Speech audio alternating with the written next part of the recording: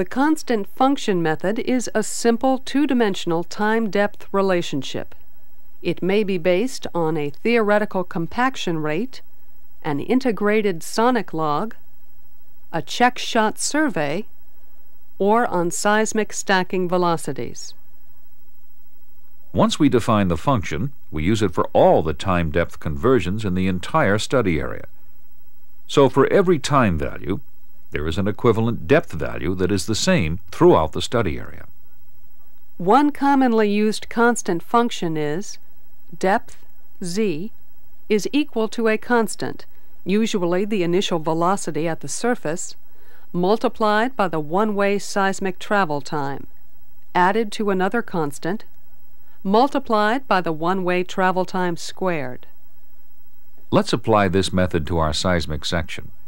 At shot point 1689, the top of our potential pay zone is at 1.050 seconds, while the base is at 1.575 seconds. Let's calculate the depths to the top and base of this zone. The depth to the top of the zone would be a constant, say 5,800, times 0.525 for one-way travel time, plus a second constant, say 1,000, again times 0.525 squared, which gives us a depth of 3,321 feet to the top of the zone. Similarly, we can calculate the depth to the base of the zone to be 5,191 feet.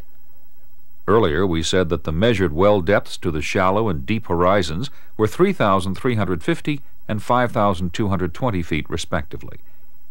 Using the constant function method, we calculated the depths to be 3,321 and 5,191 feet, which are close but not exact.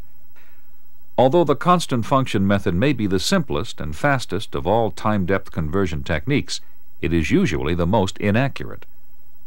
The method is essentially a relabeling of the contours on a map. Time contours are not converted to depth, nor do the contours change shape.